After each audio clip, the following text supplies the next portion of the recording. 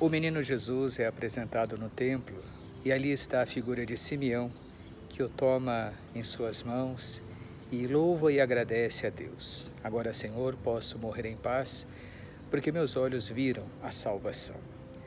O gesto de apresentar Jesus no templo, o gesto de toda a família, o gesto da simplicidade, é o que nos ajuda a compreender a identidade da família sagrada.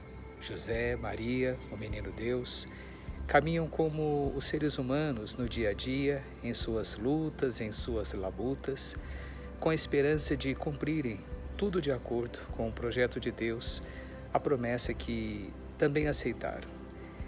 Que nossas vidas, que nossas famílias possam, nesse testemunho, buscar também cumprir aquilo que Deus espera de cada um de nós: a prática do bem, a prática do amor.